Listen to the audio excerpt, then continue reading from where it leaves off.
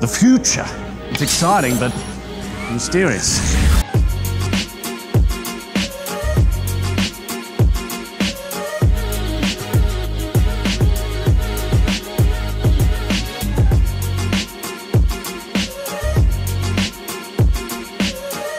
All of this future stuff is going to need future power and synergy. Future solar glass. Pretty cool, right?